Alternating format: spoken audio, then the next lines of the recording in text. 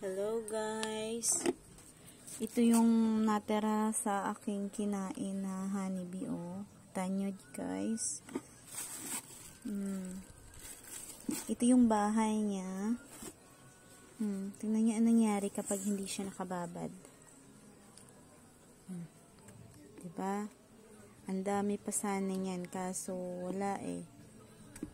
One day ko lang to naiwan.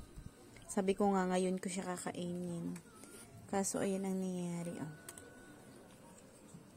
Hmm. Yan, napakasayang.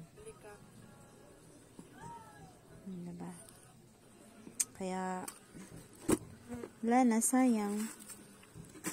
Hmm, sayang. Ang dami siya. Ang dami pa sana nito. Yun lang guys. Shinare ko lang. Nagsisi ako. Ito naman ay naka-plastic. So, ano po nga bang gagawin natin? Gawin na natin siyang fertilizer.